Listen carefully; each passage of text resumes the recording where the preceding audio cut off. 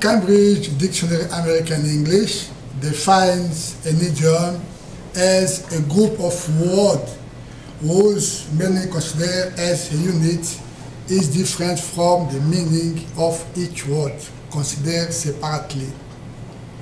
Also, the particular type or manner of expression used by a person or group, usually by singing.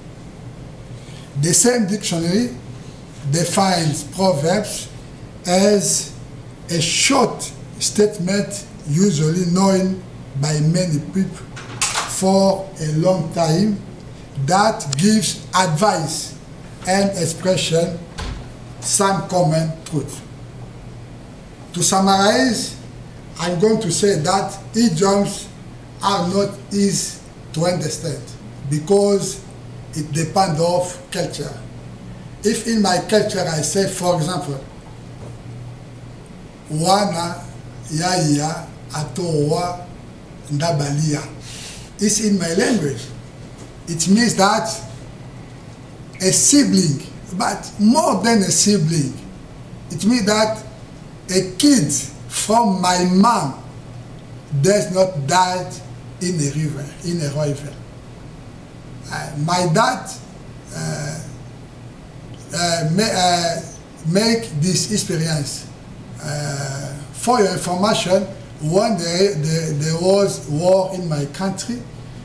Uh, the rebels said that my father worked with the white people and they decided to kill him.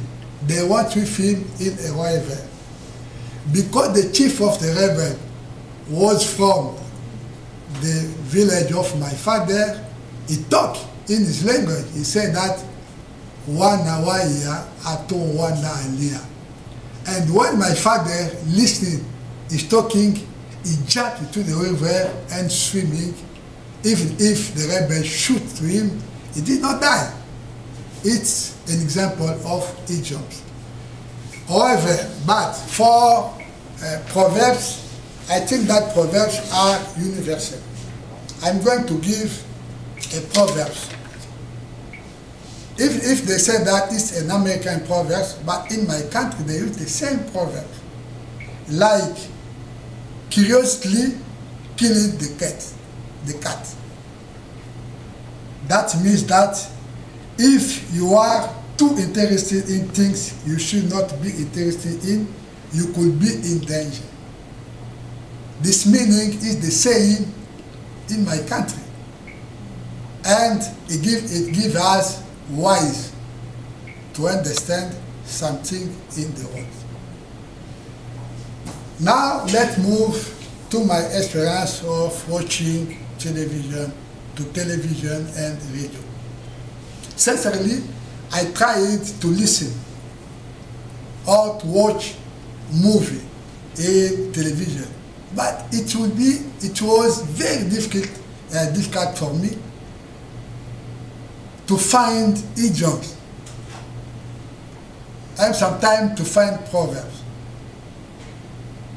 I try again to listen to radio, especially NPR. I choose an example of a speech. Uh, let me refresh my memory.